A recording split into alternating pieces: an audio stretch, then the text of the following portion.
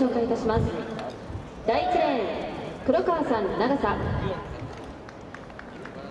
第2レーン浅田さん我孫子。第3レーン斉藤さん昭和学院。第4レーン松木さん八千代。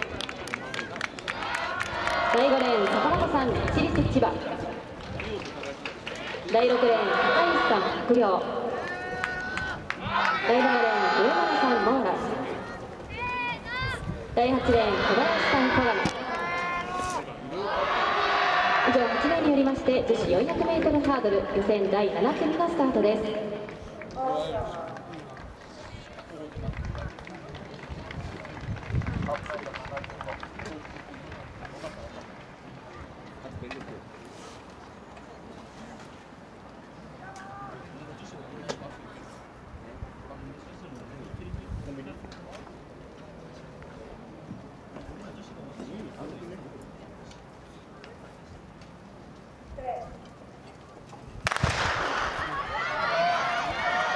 スタートしました女子 400m ハードル予選第7組。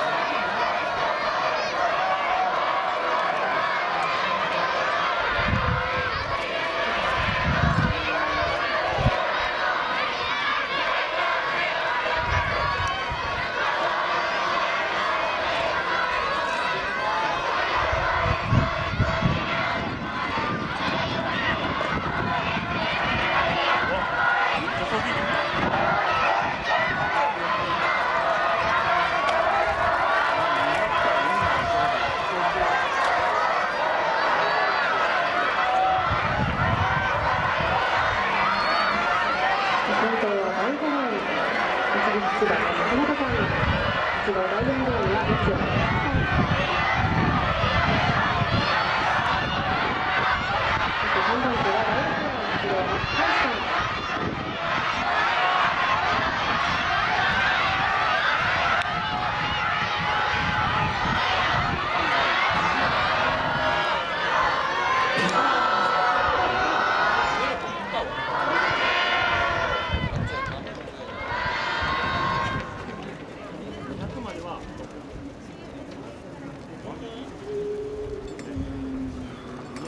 ただいまのレース1着は第5レーン一律千葉の坂本さん。記録は1分5秒35でした。